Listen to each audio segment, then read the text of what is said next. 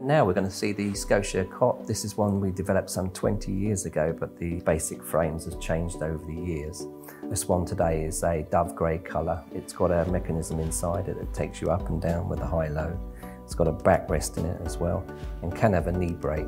There's also mesh bumpers to go and you have a standard mattress that comes with it. You can choose a different one if you like and if you need one more pressure relieving. We also do the tilting version where instead of the um, frame coming up and having a backrest, it has a tilt on it up to about 15 degrees. That's quite good if you want to sleep on your tummy.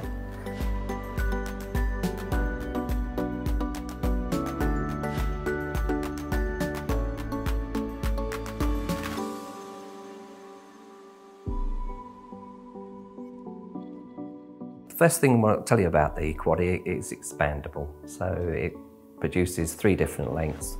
This particular one, which is the small version, is 48, 54, and then 66. And the next one up is the normal Quoddy, which is five foot, five and a half foot, and six foot. It also comes in different colours and it has themes on it. It has a small knee break for children up around about five to six years old, uh, but it will take them until they're about five foot six.